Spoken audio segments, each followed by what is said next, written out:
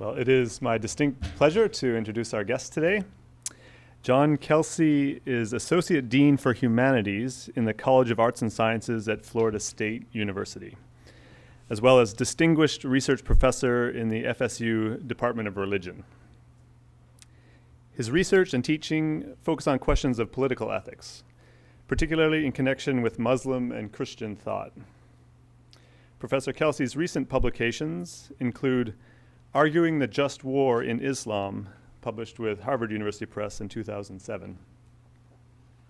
He has received fellowships from the John Simon Guggenheim Foundation, Princeton University Center for Human Values, and Trinity College Dublin's Institute for International Integration Studies. Please join me in welcoming Professor Kelsay.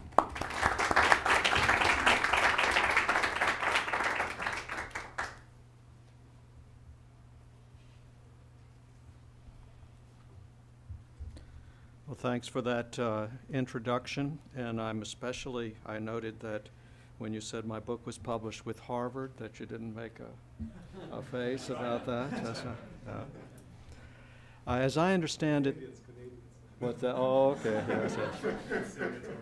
As I understand it, this microphone is for the, uh, the taping and not to amplify my voice, so can everyone hear me? All right. If at some point you can't, just give me a sign. Now, uh, Professor Volf told me I should take about 20 minutes, and uh, I told him, as you can no doubt ascertain, I'm uh, from the American South, so 20 minutes uh, to a Southerner, a 20-minute limit doesn't matter very much. Uh, it's not that we have more to say, it just takes us longer. but I'll do my best. I want to talk about three things. Uh, first, I want to talk a little bit about September the 11th, 2001, and um, reminiscences, I suppose you would say. And then, second, I want to ask where we are in our conversation, scholarly and popular, about the significance of or how we ought to think about the movement Al Qaeda and uh, related uh, movements within the sphere of Islam. And then finally, I want to talk about what uh, that means for the study of religion, uh, particularly related to um, faith and the ambivalence of faith and globalization. So first, uh, 9/11. Hard not to reminisce a little bit, uh, since we are, after all, on the seventh anniversary of the attacks on the World Trade Center and in Washington, D.C. Probably uh, a lot of the news coverage this morning, where the tapes of the planes flying into the towers were replayed and uh, news footage was shown uh, in New York and elsewhere, brings back memories and causes people to think about where they were and what their original reactions were.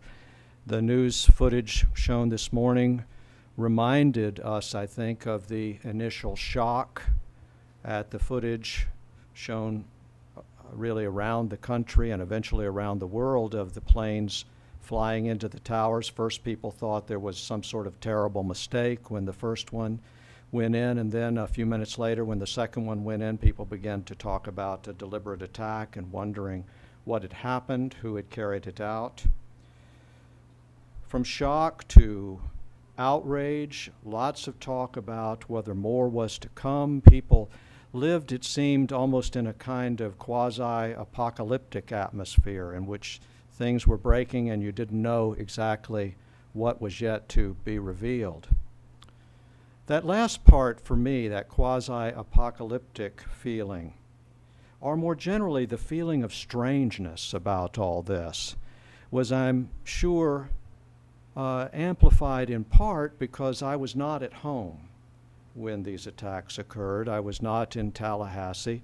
I was in Cleveland on a visiting appointment that fall, where I was to give. I had contracted the spring before to give six public lectures on the topic Islam and the political future, a topic that took on new meanings uh, after these events. Ah, okay. Thank you. Adjustments are necessary sometimes, yes. Um, but the strangeness was uh, multiplied as uh, in the coming months in Cleveland.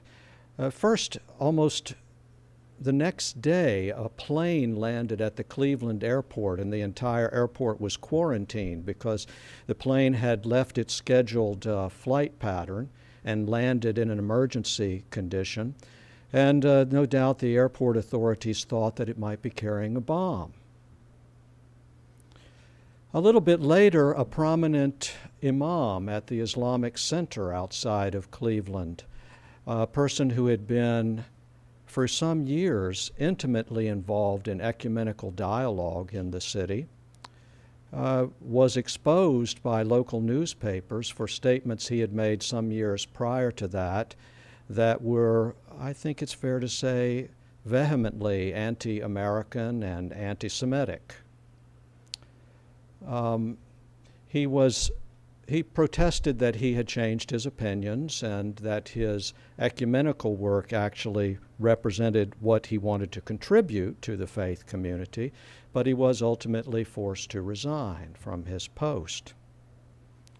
During the time of controversy over this imam, who incidentally had an adjunct teaching post at the university where I was giving my lectures, during the time he was being exposed and uh, his legacy being debated, uh, another strange thing happened. Uh, a native Clevelander, uh, evidently in a fight with his girlfriend over whether or not he was brave enough to actually do something about uh, the terrorists who had flown the planes into the trade towers and into the Pentagon. He got himself, well, in my part of the world, we would say he got himself all liquored up and he took his car about 2 in the morning and drove it down the long driveway leading to the Islamic Center and crashed into the main part of the building. I suppose he thought that was a brave act. Uh, fortunately, he did not hurt anybody. There wasn't there at that time, anybody at that time of day. He didn't hurt anybody except himself. He dislocated, broke both his shoulders, and broke a leg, if I remember correctly. The upshot was there was a communal outcry about uh, this uh, attempt to do damage to the Islamic Center and the Islamic community, and the members of the center were quite gracious, I have to say. They refused to press charges uh, with respect to this gentleman and only expressed their regret for these kinds of misunderstandings. Misunderstandings made even more strange by the fact that not long after that, a Sikh temple in Cleveland was firebombed. Evidently, the perpetrators thought that they were attacking Muslims. Strange things, feeling of strangeness about that time. And the strangeness was amplified, I think, for many people by their first glimpses on videotapes of Osama bin Laden and Ayman al Zawahiri. Uh, these two fellows uh, bin Laden, of course, speaking with that famously placid manner that he has, uh, Zawahiri, um, more excitable, uh, enthusiastic from one point of view, uh, yelling and screaming from another, but them giving their messages to us in a background of wilderness somewhere in Pakistan or Afghanistan, almost as though they came from another time and place strangeness. Now, we moved quickly, at least many people did, from that feeling of strangeness and other feelings of outrage and shock to the question who are these people? And that's where the second part of these remarks I want to take off. What have we learned in the seven years about bin Laden, Zawahiri, and those either with them or motivated by them or motivated by a view of the world like theirs. I think it's fair to say that in popular discourse and even more in scholarly discourse, we have emerging two paradigms, two ways to talk about these folks. Uh, the first we might call the terrorism paradigm, or uh, some people even like to call it terrorology, the kind of paradigm that's expressed if you were to go over to the library and pick up a journal like uh, Terrorism and Political Violence, a very interesting journal that deals with terrorism in a variety of settings and through time. Uh, this is a discourse that focuses on tactics. These are people, these were people on 9 11, uh, and as expressed in subsequent statements by bin Laden, Zawahiri, and others, these are people who are engaged in a form of indiscriminate fighting, where the ordinary rules governing the conduct of war, rules that are built in to the Islamic discourse or tradition of thinking about justice and war, even as they're built into the just war tradition, uh, familiar to Europeans and North Americans, those rules require that uh, a fighter conduct him or herself with honor in particular by distinguishing between combatant and non combatant targets. The terrorism paradigm fixes on the ways that Al Qaeda and other groups violate those codes of honor and wants to understand what they're trying to do with respect to that. The other paradigm that is emergent uh, deals more with Al Qaeda as a religio political movement and wants to see the tactics as occurring within the framework of more overarching religio and political goals. Now, myself, I hold, as it will be clear, to the second of these paradigms. I think that what we have learned in the seven years since 9 11 is that we are dealing with a Muslim religio political movement which utilizes a particularly virulent form of irregular warfare in pursuit of its goals, and which is, I think we have to say, deeply, though controversially, related to Islamic tradition, or deeply in terms of the course, but ambivalently related to Islamic tradition. And the thing that I try to do most comprehensively in uh, my book with uh, Harvard University Press is to display the contemporary argument among Muslims that is occasioned by the tactics and claims of Al Qaeda. Now, let me take a moment just to illustrate what it is that gives an appeal to both of these paradigms the terrorology or terrorism paradigm and the religio political movement paradigm on the other. First, on the terrorism paradigm. In both cases, I'm going to use quotes from Zawahiri. August the 4th, 2005, uh, Zawahiri issued a pronouncement about the 7 7 bombings in London. And he warned both uh, the people of the United Kingdom and of the United States and others as he said, O peoples of the Crusader coalition, we have offered you at least the opportunity to stop your aggression against the Muslims. We have offered you, the lion of Islam, the struggler, Sheikh Osama bin Laden, may God protect him, offered you a truce so that you will leave the lands of Islam. Did Sheikh Osama bin Laden not tell you that you could not dream of security before we live it as a reality in Palestine and be, before all the infidel armies leave the land of Muhammad. But you have made rivers of blood in our countries, so we blew up volcanoes of rage in your countries. Our message to you is clear and unequivocal. You will not be saved unless you withdraw from our land, stop stealing our oil and our resources, and cease your support of the corrupt Arab rulers. As the statement went on, um, Zawahiri warned of how many thousands of deaths would occur, threatened more acts of uh, violence, and so on.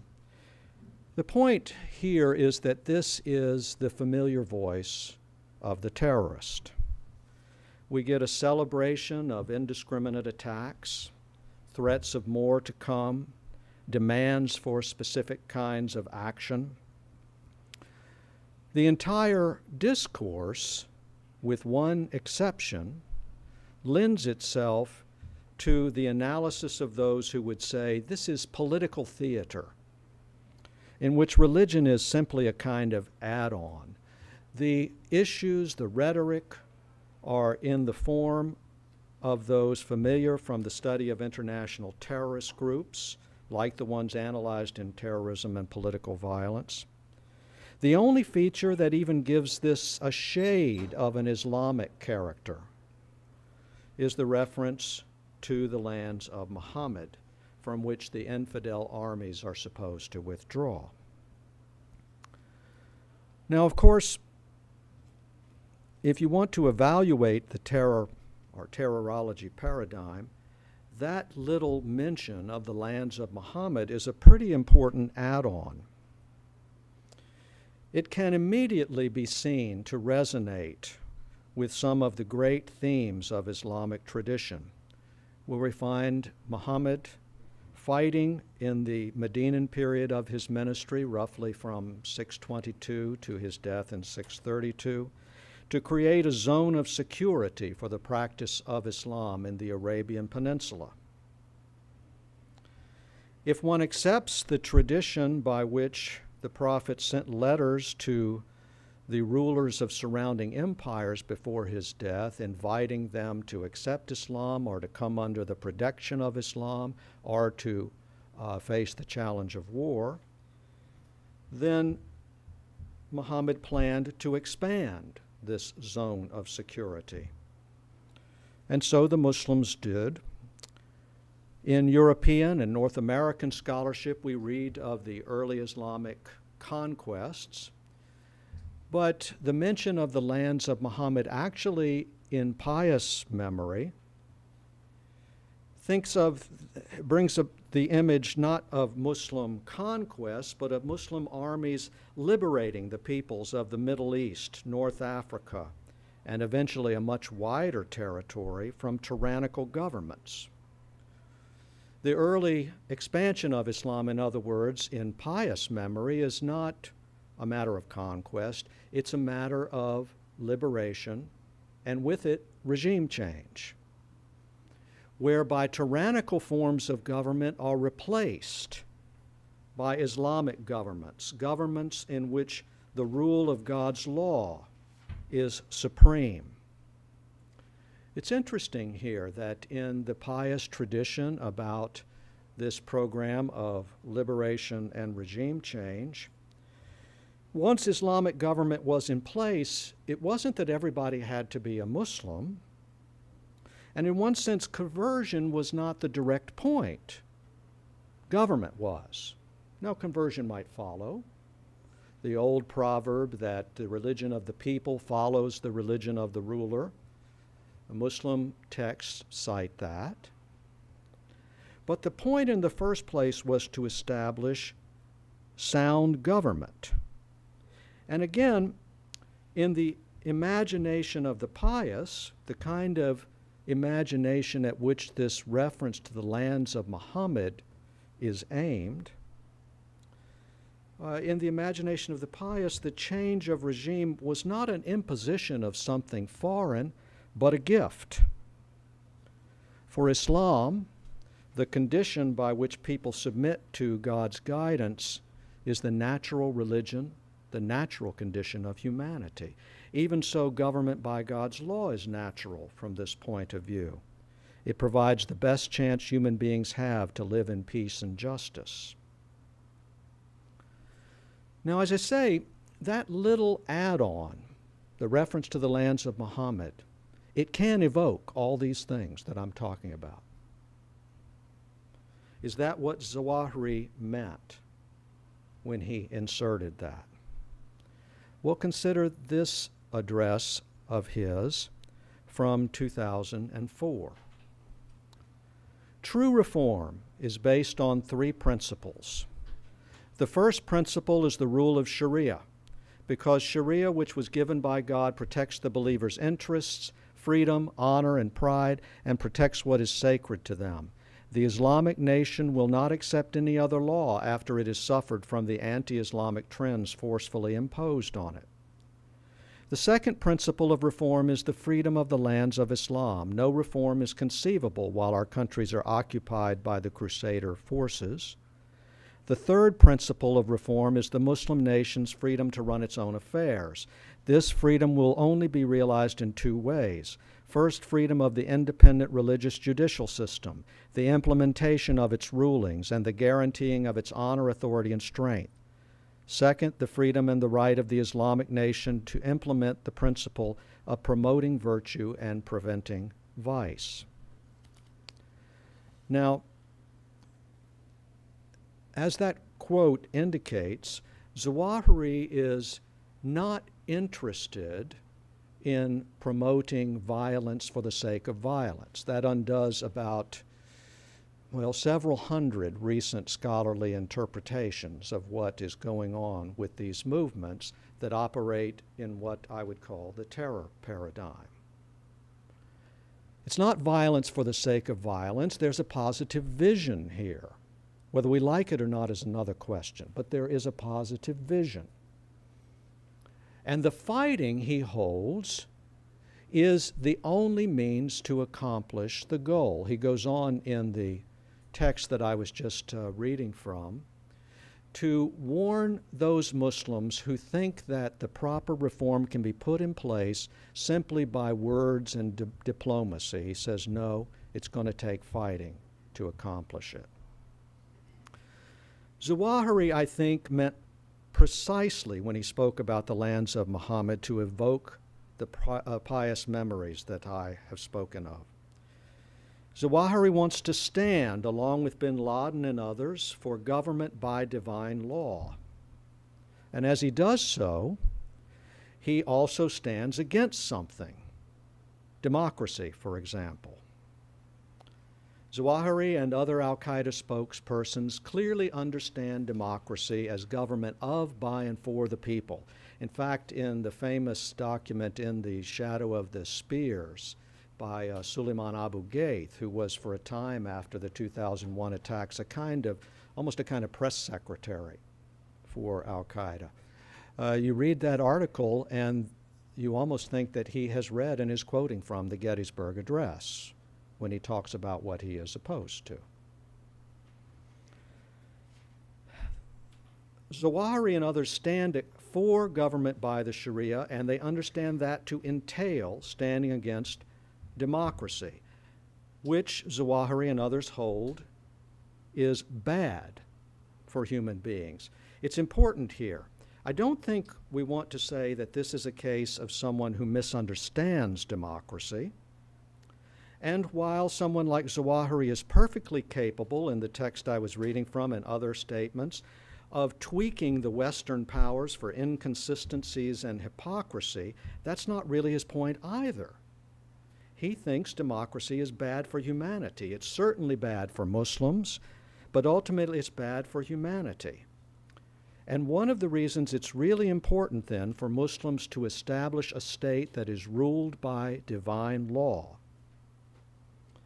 is so that they can carry out their mission of commanding right and forbidding wrong, of calling people to live in accord with their true nature. He's not far from evoking the famous saying attributed to the prophet that every child is born a Muslim.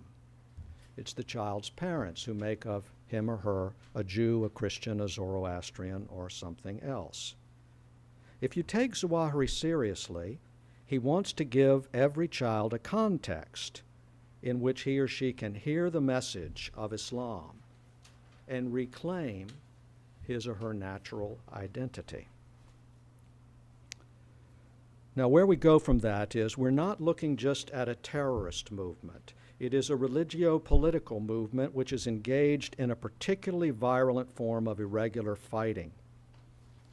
It wants to link up with more local or regional resistance movements around the world and to move them toward its goal of a state large enough to be a player in global politics. In terms of this course, it wants to shape or even control globalization. If globalization implies the advance of democracy, of capitalism, of free trade, of the regime of human rights, then governments inspired by this vision that al Zawahiri puts forward would resist and would say they have their own vision of globalization, an Islamic one. Now, what this means for the study of religion and for the ambivalence of faith. Max Weber taught us two things about religion, at least two things. First, whatever other purposes religions play, they serve to give believers a vision of legitimate social and political order. Whatever other purpose they play, they give believers a vision of legitimate and political order and inspire them to take action in accord with that vision of legitimate order. As you can tell, it's my view that Al Qaeda has tapped into something pretty deep in pious imagination in terms of a vision of what kind of order is good for human beings, makes for their welfare in this world, and points them toward their welfare in the next. But then the second thing Weber said has to do with change or ambivalence. He writes, Neither religions nor human beings are open books. They have been historical rather than logical or even psychological constructions without contradiction. Often they have borne within themselves a series of motives, each of which, if separately and consistently followed through, would have stood in the way of the others or run against them head on. In religious matters, consistency has been the exception and not the rule. Weber's point is that over time we see things shift, so that a vision of legitimate political and social order that seems basically to enshrine and confirm the status quo somehow gets turned on its head and supports revolutions. In religious matters, consistency is the exception and not the rule. And I think it's fair to say that contemporary Islam is in a time of crisis when Al Qaeda and other groups are fighting for the power to define the pious imagination for years to come. This is where ambivalence, the ambivalence of faith, comes in. In arguing the just war in Islam, I talk in broad terms about three groupings in contemporary Islam. And of course, one needs to refine always these kinds of typologies or groupings. The one, the militant point of view, that's the Al Qaeda point of view. Advocates of divine law governance in the strict sense who join that goal with a particularly virulent form of irregular warfare in which distinctions between combatants and non combatants are not held to be, uh, are not held to be binding. Well, then we have the great broad center, I think, of contemporary Islamic political thought, which you might call more traditional advocates of Islamic governance, in which an Islamic religious establishment is very important, and in some sense, governance by divine law is right, but who have a little bit looser view of how you derive divine law from existing precedents and sources than the militants do, and who are repelled by the militant tactics. If you look at uh, Islamic websites, if you read Islamic texts, the advocates of, of, of more traditional advocates of Islamic governance are clear that they do not believe that the tactics of the militants are warranted by or consistent with Islamic tradition, and this is particularly a matter of the targeting issue. Uh, for them, there are some things that the Muslim conscience just cannot approve, even if, in some sense, the militants are on to something about a problem in contemporary life. Then the last group I describe as Muslim Democrats, people who read Islamic sources and who argue that it's not just the tactics of the militants that's wrong, but the whole notion of an Islamic religious establishment is problematic and needs to be put to the side. They attack, in other words, not only the means of the militants, but the goal. And they want to say that the regime of human rights is the Islamic form of government. So that if the militants tap into pious imagination by saying, talking about the struggles of Muhammad with unbelief and persecution and fighting at Medina, the Muslim Democrats want to talk about Muhammad at Mecca from 610 to 622, in which he said he was called to preach, and in which he said persistently to those of his followers who said, Please authorize us to fight against persecution. He said, I haven't received an order to fight. I've only received the order to preach. If the militants want to tap into uh, pious imaginations by talking about the Muslim expansion as a program of liberation and regime change, the Democrats want to say, well, you know, it wasn't all that simple and straightforward. The motivations weren't always noble, and in some way, the, the pious construction is ex post facto. The conquests take place first, and then we develop a way of saying, we've got all this power now. How should we think of it? Well, you think of it in pious terms.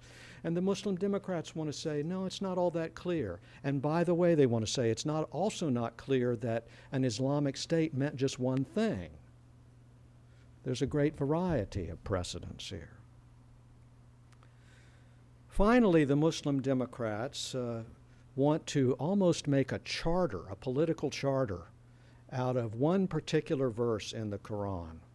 And the Zawahiri and others dispute with them about the meaning of this verse.